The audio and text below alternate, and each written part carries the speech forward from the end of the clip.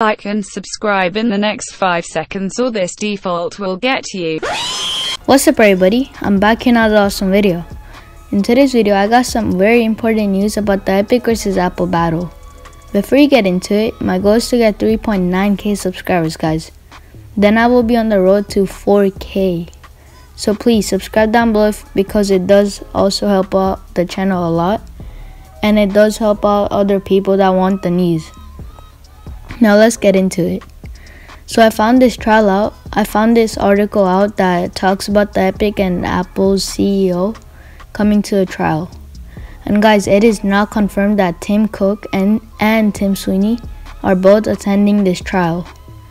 Before we knew that Tim Cook was coming, but it wasn't confirmed about Tim Sweeney. So guys, that is great news. Tim Sweeney will be in the trial for 8 hours and Tim Cook will be um, here for two hours talking about the legal stuff and other things.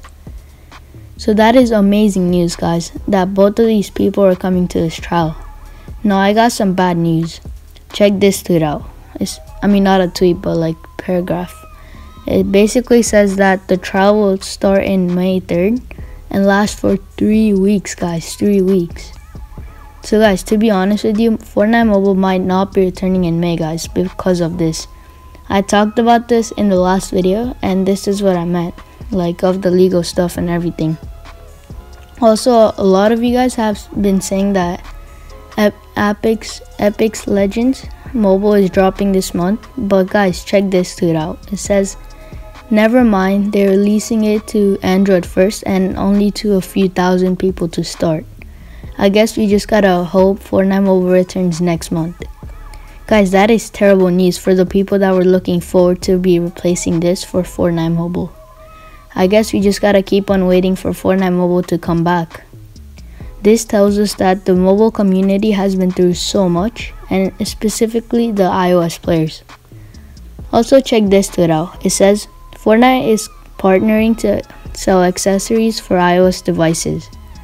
Now you might think that this is how is this relevant to a video? Well guys, I cover everything in the video that is linked with Fortnite Mobile.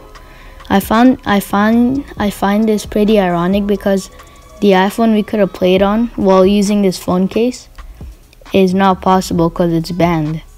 And also that Fortnite Mobile, I mean Fortnite didn't want to collab with Apple and then goes to collab with other other companies to promote their game which I found annoying um, because it would get them way more money to get the game back to the App Store than using some other company to promote um, their game.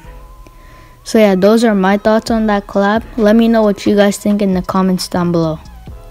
And yeah, I know it was a short video today, but I'm trying to get as much news as possible for you guys. And yeah, thank you for watching and remember to like and subscribe. It is completely free. Peace.